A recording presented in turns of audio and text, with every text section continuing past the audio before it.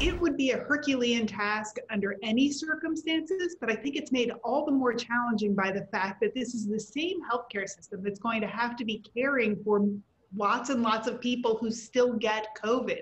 We're going to need to do all that we can to suppress uh, transmission of the disease during this period and also to introduce new therapeutics. It's going to be months and months and months before everyone is vaccinated. And in that time, unfortunately, hundreds of thousands of people are going to be getting COVID. At this point, 200,000 a day. As a practical matter, uh, how many vaccines are we going to need? Not in terms of doses, but how many different suppliers of vaccine? Because one is not going to be enough, is it? One is unlikely to be enough given how long it takes to manufacture and how many millions and millions of people need to be vaccinated. But of course, the more different vaccines are introduced, the more complex the distribution is because they may have different dosing requirements, different storage requirements, different distribution systems. So ideally, we get as many doses of each vaccine as we can to minimize complexity and maximize distribution. I also wonder whether, as happened last spring, frankly, some of the people who are most vulnerable, the most hit, are the people with the least resources to deal with it. We're talking about low income people, we're talking about minority groups, particularly in urban centers, but also, for that matter, Native Americans. We've had disproportionate problems. These people didn't have that great a healthcare system supporting them to begin with, did they?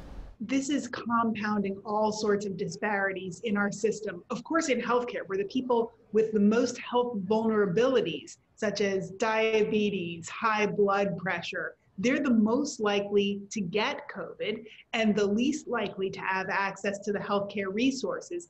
But that's only part of it. There are also the economic disparities that line up as well people who are least likely to be able to do their jobs from their homes are also, and, and thus more likely to be exposed to the disease, are also the ones with the biggest disease burden. And then the fewest economic resources to weather a recession that's been generated by the pandemic. So people who are losing their jobs, maybe losing their health insurance. This is all exacerbating disparities that line up for the most vulnerable populations. They may also be the people least likely to take a vaccine. There is some longstanding distrust of the healthcare system that has been uh, well justified by past inequities that I think will make people differentially likely to take up a vaccine that's offered.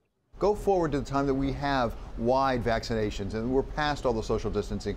Look back and say, what would we have changed or learned to change about the healthcare system because of this crisis? So I think that we have perhaps learned that there is an even bigger return to harmonizing the way that people get insurance and the way they get care, to make it less likely that you lose your insurance when you lose your job, to make sure there are fewer people who fall between the cracks. That's really important for long term health. And maybe there will be more momentum for ensuring a more robust insurance safety net. Well, I wonder about exactly that. We spent a good part of the last four years debating whether we should have the Affordable Care Act at all. It did not get everybody insured. There's some, still something like 26 million people uninsured, but it took down that number rather substantially. Uh, what are the prospects, do you think, that we can, because of this COVID 19 crisis, turn that back around and address those holes left behind by the Affordable Care Act?